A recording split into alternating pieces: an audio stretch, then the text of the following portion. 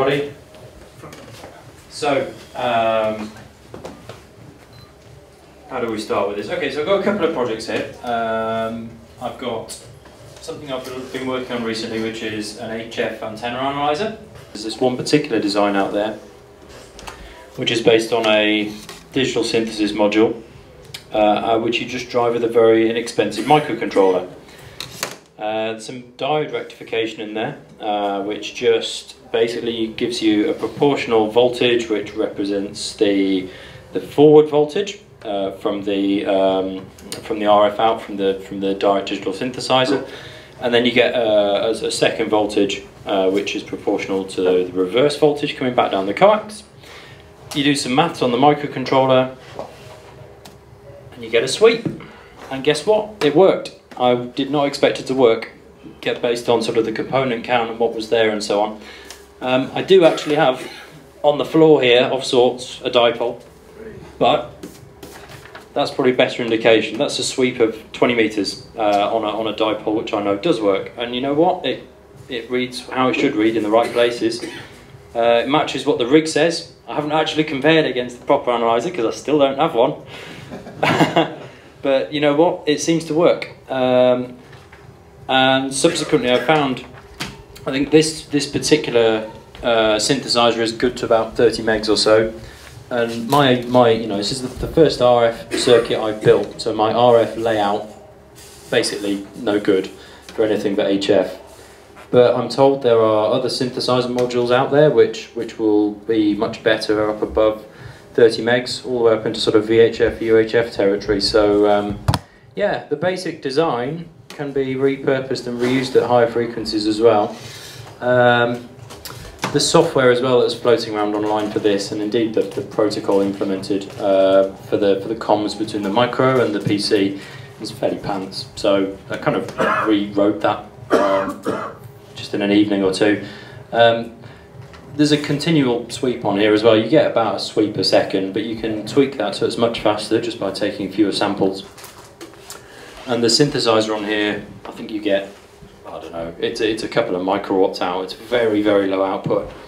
Um, so uh, coming coming off this, you um, you well, when I first built it, I found that the um, the coax run I have, I had some a, a reasonably long run of very thin was your RG174, very very thin stuff, and I was finding that all of the power coming back down the coax was just getting lost. So this was reading fairly flat. I just thought, oh, you know what, it doesn't work. Let's write it off. But it just occurred to me, hang on a minute. No, I know that coax is rubbish. I know the output of that is low. Let's just see. And sure enough, hopped up into the attic with this setup, put this on the feed point, and it was an absolutely perfect sweep and did the job. So yeah, that's it for that one. Um, do you want to come back to the, the other one later? Or? Yeah, let's yeah? do that. All right, cool. So any questions on the analyzer? Oh, two, go ahead. Um, the synthesizer chip that you're using, what, what is that? Do you know? It's an AD9850. Oh yes, yeah.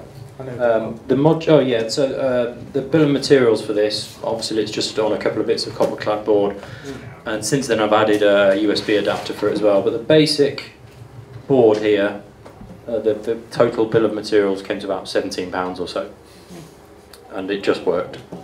Um, did it Manhattan style, but you could do a PCB if you're feeling fancy. Go ahead.